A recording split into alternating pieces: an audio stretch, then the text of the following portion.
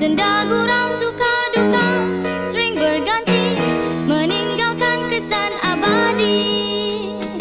Berdebar-debar hatinya kali pertama bertentang mata.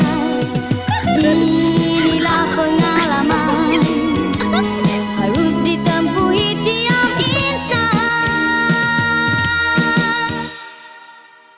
Terima kasih dok.